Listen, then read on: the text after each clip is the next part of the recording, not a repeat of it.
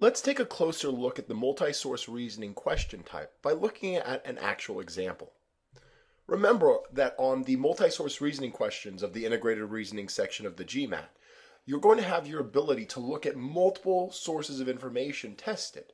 Often it's going to show up in terms of uh, two to three tabs, and the tabs will work much like your internet browser will work, where by clicking on a tab, it will bring the information from that tab onto the screen.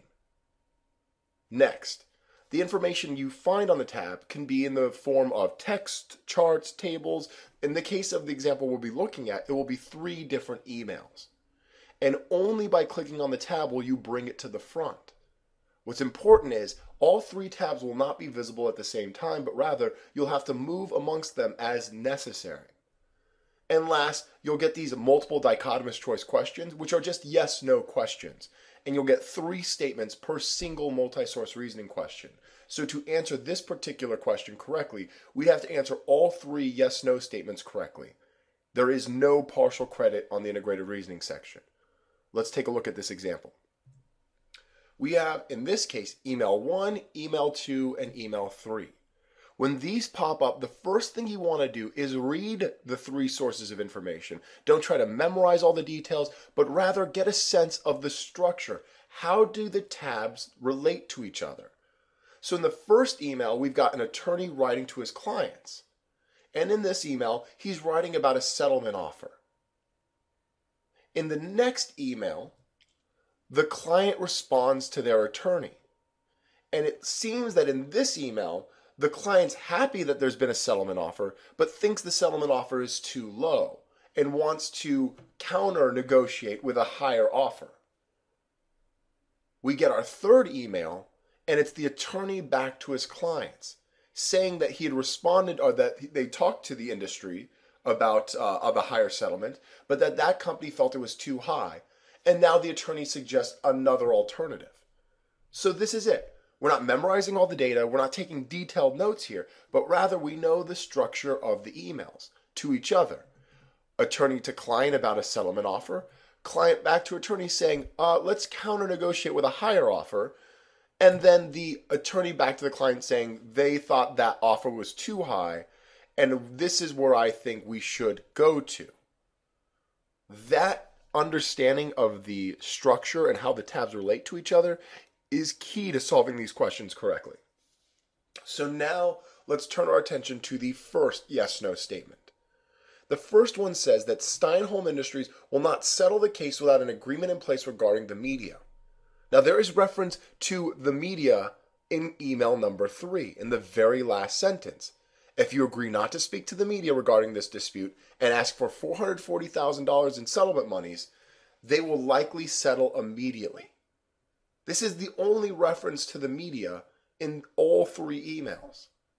So here's the problem. Well, it does seem from this email that the company would like the media not to be involved.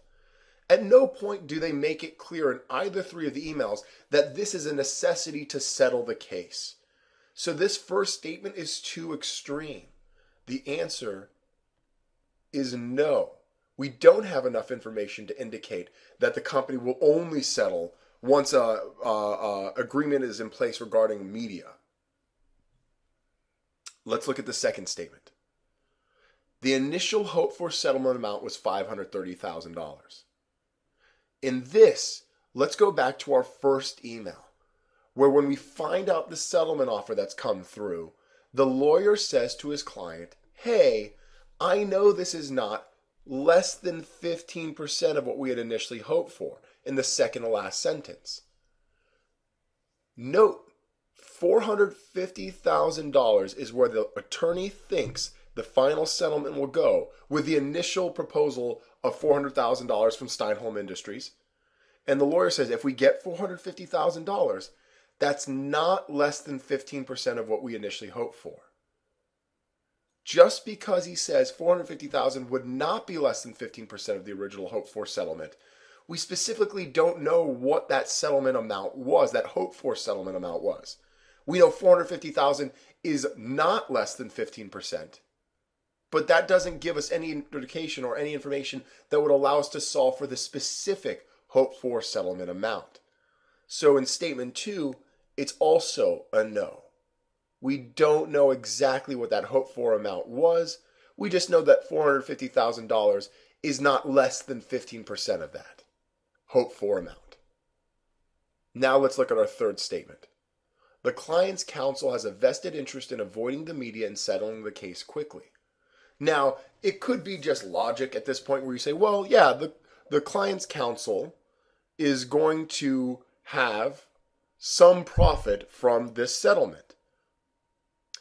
So the idea that the client, uh, the, the attorney is going to profit isn't far fetched. It's a matter of making sure the statement as we're given it is yes or yes, it can be inferred or no, it can be inferred based solely off the information we have in these emails. And in these emails, when you see, well, and specifically in the statement, when it says a vested interest in avoiding, it means that it's a personal stake in the outcome. And there's nothing in this passage to suggest that the attorney has any expectation of financial gain if the settlement occurs quickly, nor does it state anything about this, the particular uh, the uh, client's attorney having any uh, desire to avoid the media. Now, you may remember when you're working in these types of questions and inference questions in general, you are answering the question or this statement, this yes no statement, based solely off the information we've been given. And in the three emails that were given, there's no indication of a vested interest for the client's counsel. So we'd have to mark no. So remember when working with these multi source reasoning questions, two big takeaways. One, always start by getting the gist of the tabbed information. Get a general idea of what's in those tabs, but more importantly, an understanding of how the tabs relate to each other. Next, return to the tabs as you need to to research any information for the individual questions you will be able to go back and forth amongst the three tabs as much as you want. So don't feel the need to memorize anything or get bogged down in details, but rather getting a good understanding of the general structure will let you know where which tab you should return to to find the necessary information to answer the question you've been given.